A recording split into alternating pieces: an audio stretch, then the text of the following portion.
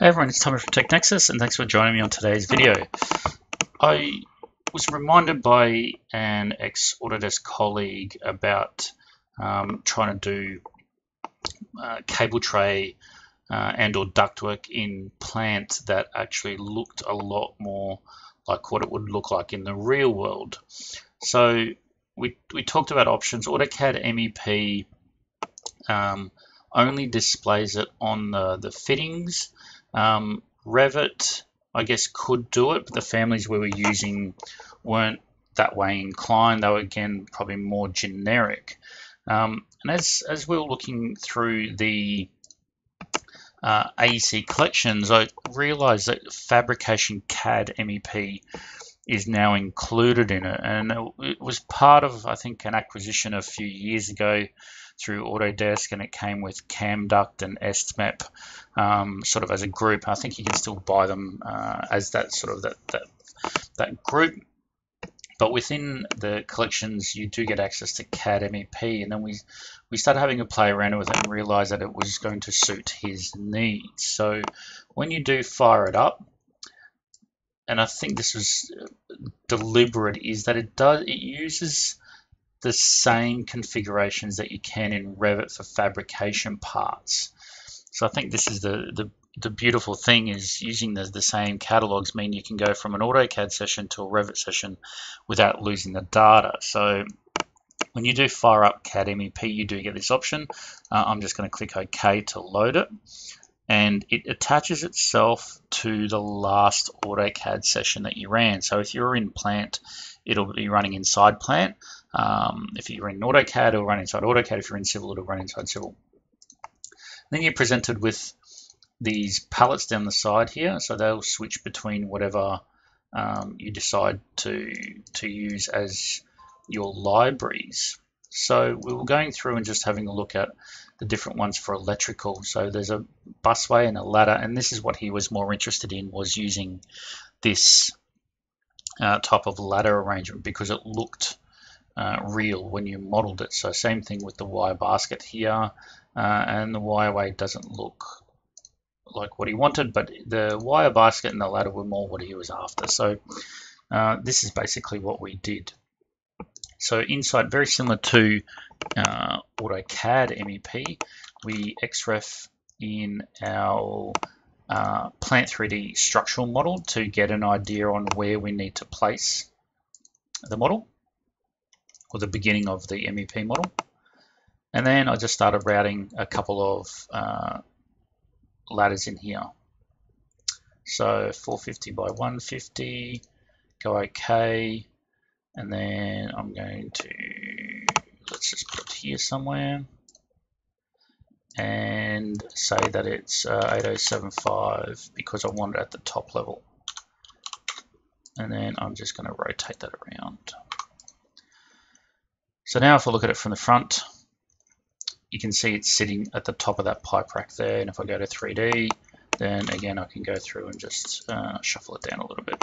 So all of this, is, these arrows mean this is where it's going to add the next element. So if I just keep adding more straights, then we do get some straights. So I can throw in a horizontal T and start throwing in some more straights there as well. And what I'm going to do is just go back to my home view and I'm going to go and place some wire basket. So same thing, uh, wire basket is going to go, let's make it a bit bigger, 600 by 100.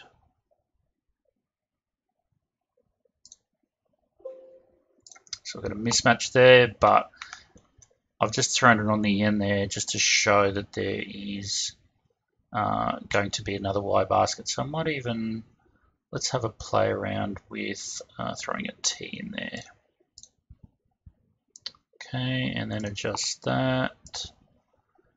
And see if we can throw an offset. There we go. And a couple more straights. Okay, so let's see if we can move this out of the way a little bit. So we'll just shuffle that down. So they're the two ideas that he wanted for the electrical cable tray on his plant project. So I'm just going to detach that. And like everything, save as, stick it on desktop, uh, 00 dash MEP dash 0002. I'll call it CAD MEP just so we know what it is. And then I'm going to close it. Jumping into plant, as usual, copy drawing to project, add it to the uh, project directories, and then it becomes part of uh, Plant 3D. So we've got it in there as 00 CAD MEP. So just to show what it looks like uh, in an ortho view, so I go new drawing, I'll call it 200. So same thing as we do with the other disciplines, I'm going to do a new view and I'm going to throw in the CAD MEP file plus the pipe rack that it sits on. Okay, so now we it's probably a bit hard to see, but you can just sort of make out that there's the wire basket and the ladder there. And I want to look at it from the top at, let's go 1 in 50. And let's do no hidden lines and go OK.